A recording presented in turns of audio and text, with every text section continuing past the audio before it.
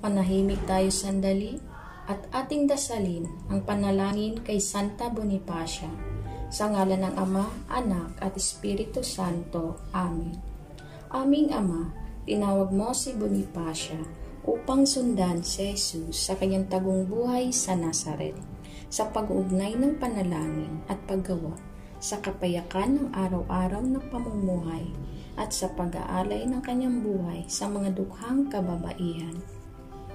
Sa pamamagitan ng kanyang halimbawa, kami naway tulungan na maging katulad ni Jesus na gumawa at nanalangin sa Nazaret kasama ni na Maria at Jose sa kanyang pamamagitan ipagkaloob nawa ninyo ang aming kahilingan. Amen. Ama namin, sumasalangit ka, sambahin ang ngalan mo. Apa sa amin ang kaharian mo, sundin ang loob mo dito sa lupa para nang sa langit.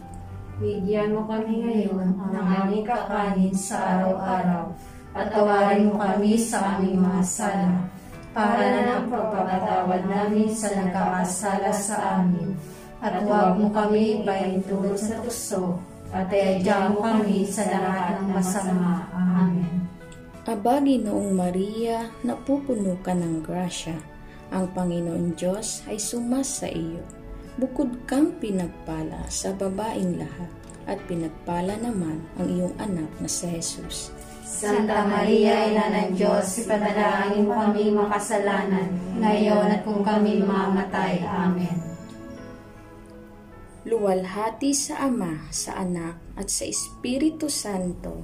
Kapara na sa unang-una ngayon, pakailanman, mapasawalang hanggan. Janawa.